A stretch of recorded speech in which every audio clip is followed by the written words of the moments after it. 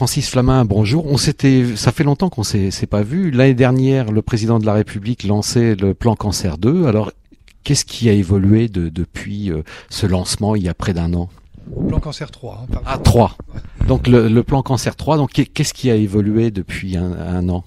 Qu'est-ce qui a évolué? C'est-à-dire que ce plan Cancer 3 est un plan extrêmement intéressant parce qu'il prend véritablement en compte le malade. Hein. C'est ce que la Ligue demandait d'ailleurs depuis longtemps.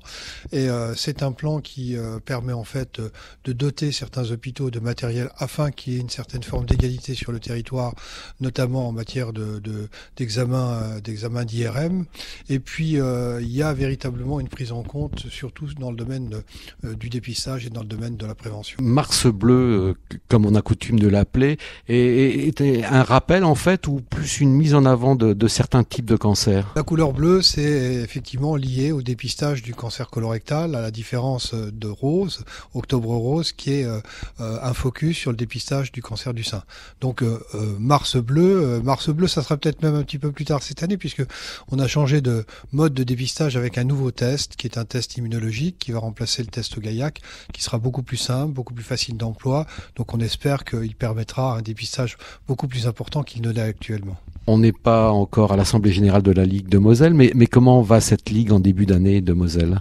Alors la Ligue Moselle va bien, euh, un petit peu mieux d'ailleurs qu'au plan national parce que c'est vrai que nous sommes victimes de la crise et le nombre de donateurs a un petit peu diminué. Nous sommes en recul au niveau national de, de 5 à 7 Par contre en Moselle, on a conservé le nombre de donateurs puisque nous sommes à 11 000, donc à quelques dizaines de donateurs près.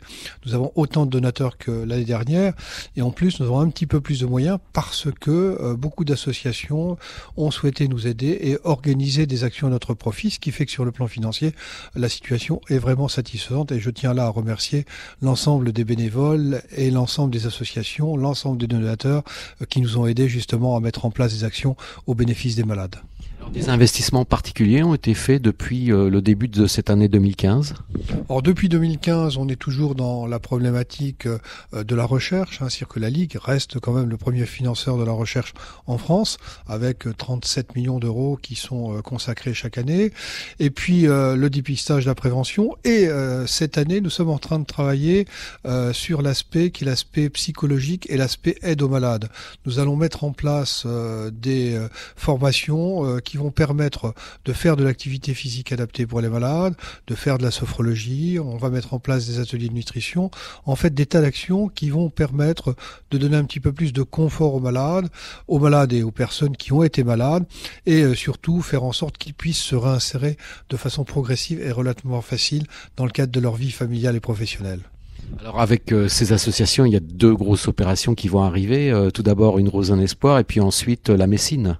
Alors oui, une Rose en Espoir qui est une opération phare. Hein, c'est plus de 16 ans euh, d'action sur le terrain avec des dizaines et dizaines de motards, avec une association mère qui fédère l'ensemble des secteurs et surtout bon des bénéfices extrêmement conséquents qui permettent à la Ligue de la Moselle de mettre en place justement toutes ces actions dans le domaine du dépistage, la prévention, de l'aide aux malades. Hein, L'an dernier, je rappelle, c'était quand même 580 000 euros reversés au comité départemental. Et là aussi, je tiens à tirer vraiment mon chapeau à l'ensemble des personnes qui travaillent sur le terrain, à la présidente Martine Meillan, à Bernard Braun, hein, l'initiateur de cette belle manifestation, tous les chefs de secteur et tous ceux qui œuvrent. Et puis la Messine, hein, le 1er mai, euh, organisée par Marie-Hélène Comazetto, euh, une très belle manifestation. On attend entre 8 et 10 000 femmes qui vont marcher, courir euh, pour lever des fonds, pour la recherche pour le cancer du sein. Là, c'est vraiment estampillé recherche. Et puis je crois qu'il y a la Thionvilloise un peu plus tard. La Thionvilloise qui euh, se déroule un petit peu plus tard. Il ne faut pas bien sûr que les courses aient lieu le même jour. Il ne faut pas qu'il y ait de concurrence. Hein. La concurrence, même si elle est saine dans certains secteurs, là il faut que les Thionvillois, euh, Thionvilloises viennent courir à Metz et que les Messines aillent courir à Thionville. Et puis on aura la Forbacoise aussi, une autre opération importante qui va être menée toujours euh, dans le domaine de, de collecter des fonds pour le cancer du sein. Ça va pouvoir mettre en route euh, beaucoup d'équipes finalement à travers l'ensemble de la France. Oui, c'est vrai que c'est beaucoup plus fédérateur euh, de mettre en place ce type d'action parce que les gens savent véritablement où va l'argent. C'est toujours le problème que nous avons à la Ligue, c'est d'informer de donateurs euh, de la pertinence des actions qui sont menées afin que leur nom soit utilisé et employé le mieux possible.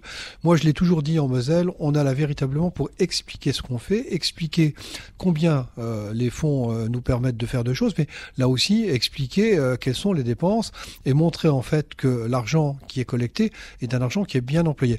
Je reprécise, et je l'ai déjà dit souvent, les frais de fonctionnement du comité départemental de la Ligue de la Moselle, c'est 7%. Donc c'est très très faible par rapport à des associations identiques dans le domaine caritatif. Tout simplement parce que nous avons la chance d'avoir beaucoup de fonds et que euh, forcément, même si nous avons des salariés, même si nous avons des locaux, nous n'avons pas de dépenses ostentatoires et euh, l'intégralité, presque l'intégralité des fonds est consacrée à la lutte contre la maladie beaucoup de bénévoles parmi euh, justement les membres de la ligue, dont le président, dont vous êtes, qui agissent complètement bénévolement. Oui, euh, je, je, je, le reprécise, euh, le président que je suis, les administrateurs qui sont autour de moi, les membres du bureau, euh, les bénévoles, bien évidemment, nous ne sommes pas rémunérés, c'est complètement, complètement normal, effectivement, d'œuvrer, tout simplement parce que c'est une association à laquelle nous tenons beaucoup, et puis, il faut bien le dire, la maladie cancéreuse est comme une maladie qui provoque un nombre de morts extrêmement important, et on est tous, les uns et les autres, touchés, directement ou indirectement. Donc c'est aussi un petit peu ce qui nous motive, et je, je le redis, on est bénévole, mais on est bien content d'être bénévole parce que ça crée aussi une solidarité. Cette maladie aujourd'hui, elle recule, elle avance. Euh, où est-ce qu'on en est un petit peu? La recherche a bien bien avancé aussi? Oui, la recherche avance, hein, qu'elle soit fondamentale, clinique, épidémiologique. Euh, la preuve en est, c'est qu'on guérit près de 60% des cancers. Alors certains vont vous dire, on n'a jamais vu autant de cancers. Oui, c'est vrai, pour plusieurs raisons. Première raison, parce que la population augmente. Deuxième raison importante, parce que euh, l'âge auquel on a un cancer, c'est moyen, c'est 67 ans, et l'espérance de vie augmentant, forcément, il y a plus de cancers qu'à une époque où on vivait jusqu'à 50 ans. Et puis, euh, on fait de plus en plus de dépistage, donc forcément, il y a plus de cancers. Mais si on neutralise ces facteurs qui sont euh, ces facteurs d'augmentation de la population et euh, d'espérance de vie, on s'aperçoit en fait euh, que le nombre de cancers augmente très peu très peu, il augmente du fait de dépistage et que surtout, et c'est important de le dire, la mortalité diminue. Hein. La mortalité diminue de 1,5% par an pour les hommes et d'un pour cent par an pour les femmes, ce qui est extrêmement important, ce qui montre qu'il faut être résolument optimiste sur cette maladie et il ne faut surtout plus qu'elle soit un tabou.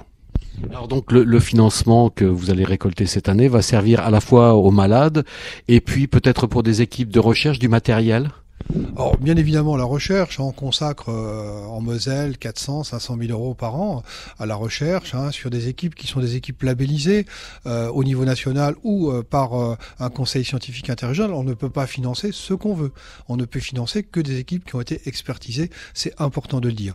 Et puis, bien évidemment, là aussi, toujours des actions sur le terrain dans le domaine de la prévention, avec notre animatrice prévention, des informations en matière de communication avec la Modémasses sur le dépistage, et puis là aussi euh, beaucoup d'actions euh, en direction des malades, que ce soit des actions notamment d'aide financière, parce que là aussi on a des gens qui sont malades et, la maladie précarise. Donc on aide financièrement des personnes, notamment sur des restes à payer hein, pour l'achat de prothèses, euh, pour euh, faire en sorte qu'on puisse peut-être leur offrir euh, des heures de ménage parce que c'est difficile.